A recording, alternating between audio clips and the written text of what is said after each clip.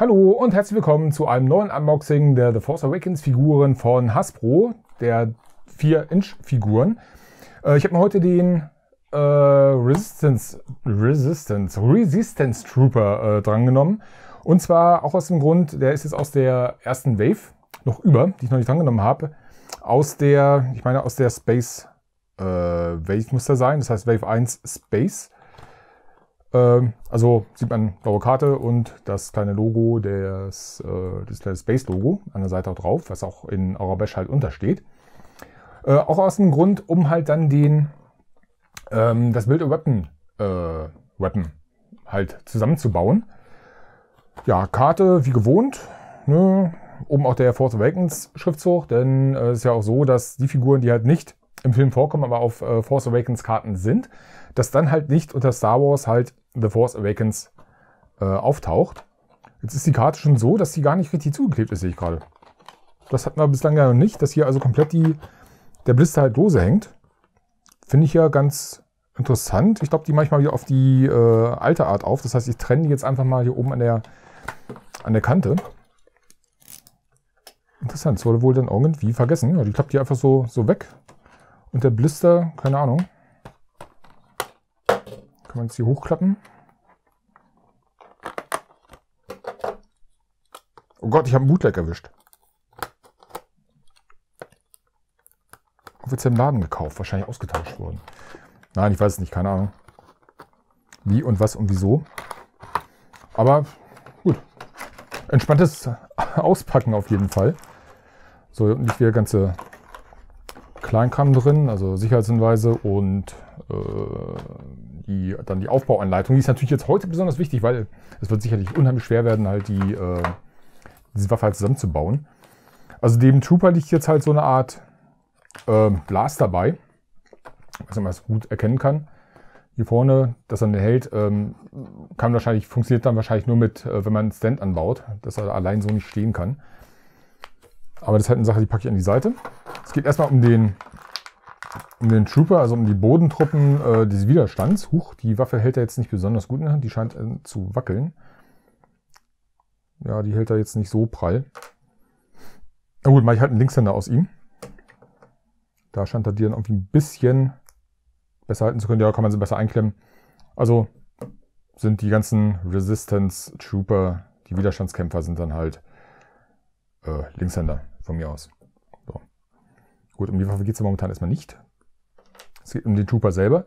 Der Trooper selber hat ein ähm, Visier vor, was man auch nicht wegklappen kann. Ist auch kein Klarsicht-Lasier-Visier. Äh, äh, sondern wie man sieht, ist es halt dann bemalt worden. Hier kommt ein bisschen die Nasenspitze raus. Also ein bisschen was Humanoides sieht man, außer der Figur natürlich. Aber ähm, vom Gesicht her sieht man, wie gesagt, nur die die Nasenspitze, wenn es überhaupt die Nasenspitze ist, vielleicht ist es auch halt ein, äh, ich gucke mal eben kurz auf die Verpackung, wie er dargestellt ist. Doch, da unten, da scheint ein kleiner Spalt zwischen, zwischen Helm und Visier zu sein, dass da wirklich die Nase rausguckt. Äh, ansonsten finde ich die Figur auch wieder gut, gut gelungen. Gut, beim Kylo bin ich immer noch nicht so zufrieden, weil der mir einfach zu, zu plasterhaft wirkt. Also wirklich nicht so, vom Material nicht, die Auswahl nicht so ich hoffe mal, dass die neue Version, die demnächst so rauskommt, ich glaube, was heißt demnächst, also im März rauskommt, dass die dann etwas besser ist. Auf den Fotos sah er zumindest etwas besser aus.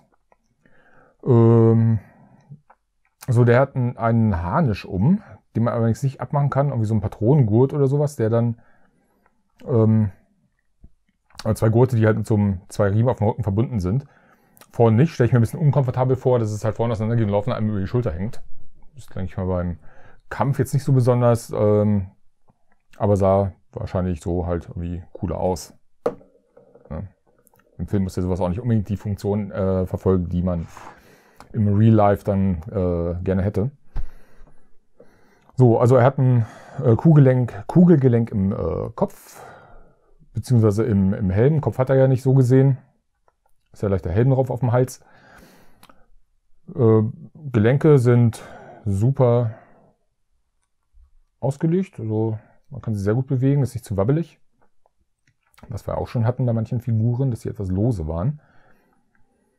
Äh, Bemalung finde ich für, eine, äh, für die Standardfiguren also auch wieder sehr gut. Print ist gut. Auch so die Innenflächen der, der Hände finde ich also sehr schön gemacht.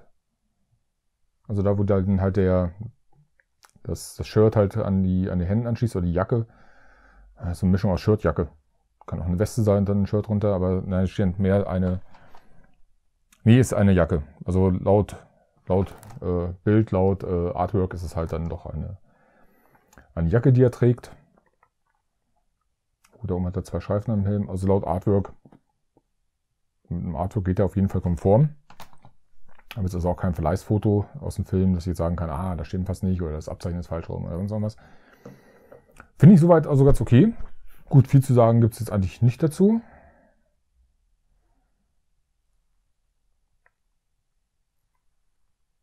Viel mehr.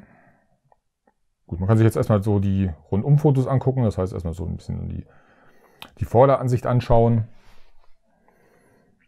Und die, die Seitenansicht und die äh, Rückansicht lasse ich immer kurz, kurz durchlaufen.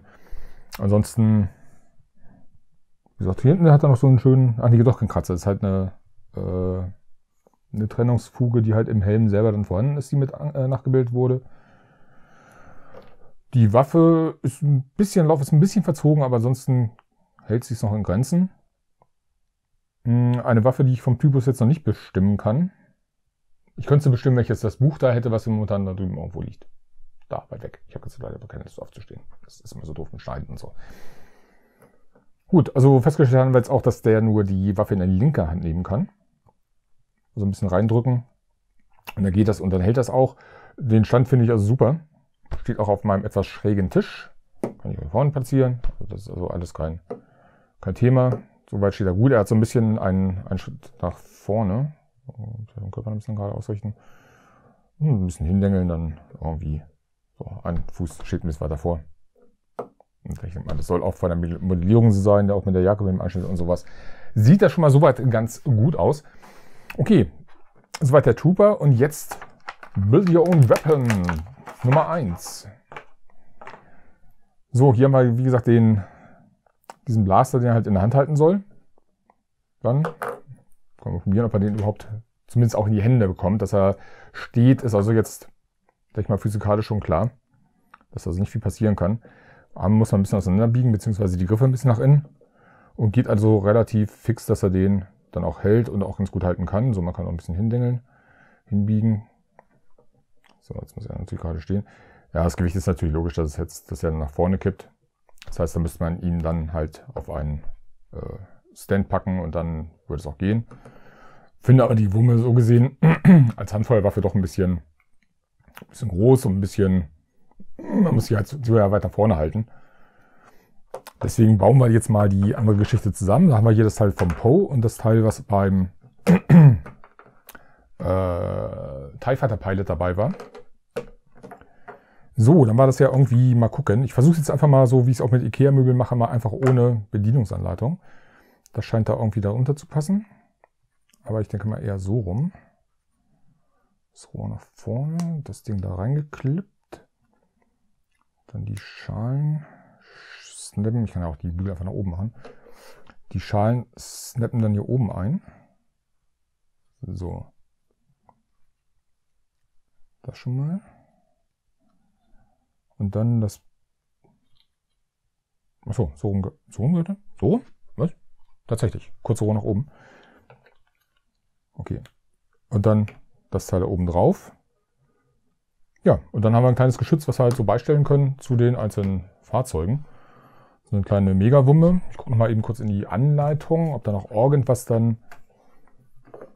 Gut, also an die Griffe kommt da vielleicht auch noch ran. Gucken. Äh. Ja, schon ein bisschen schwerer. Nee, also nicht wirklich. Und da haut er sich also auch dieses Achso, ein Teleskop ist das ein Zielfernrohr vor die Augen. Gut, muss man halt irgendwie so hinstellen. Sieht ein bisschen komisch aus. Aber okay. Zumindest das Ding ist fast in Augenhöhe. Also momentan riecht er mehr ins äh, Zielfernrohr, als dass er das irgendwie, äh, als er das irgendwie durchguckt. So, Kollege, mal kurz an die Seite.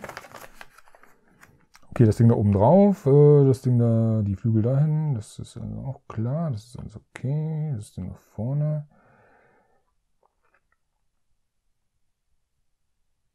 nee, das wäre es dann eigentlich.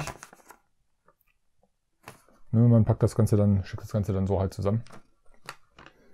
Und das ist so ein, so ein stehendes Ding. Ausgelegt war es halt zu den einzelnen Figuren, wenn man das Teil jetzt also nicht zusammenbaut, dass man halt dieses, äh, diese beiden Klappen, die jetzt also, diese beiden Schalen, quasi wie so ein äh, Ding auf den Rücken schnallt. War hier auch irgendwo ein Bild. Äh, da. So. Ne? Der Po, der kann sich das dann halt vom Rücken machen. Ich habe den, glaube ich, hier sogar noch liegen. Ist das der? Und deswegen hat er wahrscheinlich auch dieses Loch auf dem Rücken, damit er halt dieses äh, Zupackteil dann da irgendwie auf den Rücken schnallen kann. Den Piloten habe ich jetzt nicht da, aber der saß dann sowieso bloß in, dem, in dieser Schale drin. Huch. Der zerpflückte. Äh. So, das war irgendwie. Na. Putte macht.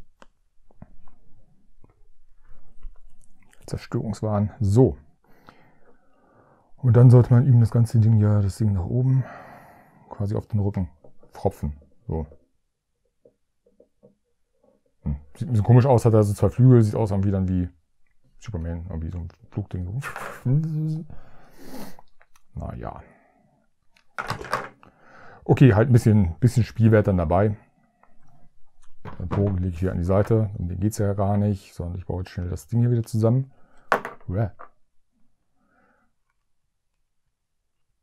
So, ist da reingesteckt. Seitenteile reingefropft. So, haben wir das Bild Weapon und halt den Resistance Trooper, den man dann schon mal den passend zum Poe mit seinem äh, X-Wing und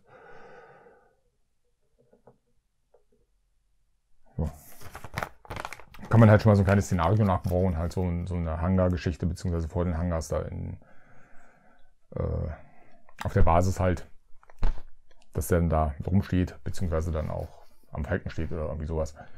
Kann man schon mal so ein bisschen dann auch mit rumspielen und äh, ja, ist sicherlich auch eine Figur.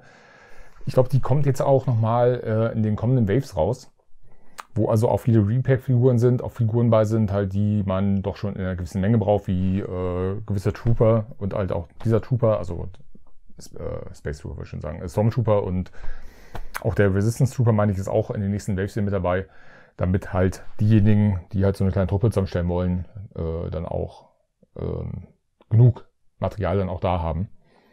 Und dann nicht irgendwie die, äh, die Figuren dann zu limitiert sind und man nachher wieder horrende Preise irgendwie bezahlt. Und das wäre auch blöd, wenn man auf einmal für die Figur, für eine Basic-Figur davon mal äh, 30 Euro zahlt, nur halt, äh, weil sie rar gemacht worden ist.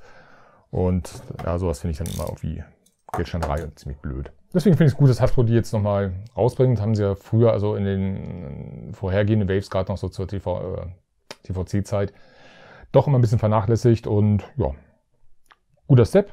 Wie gesagt, mir gefällt der.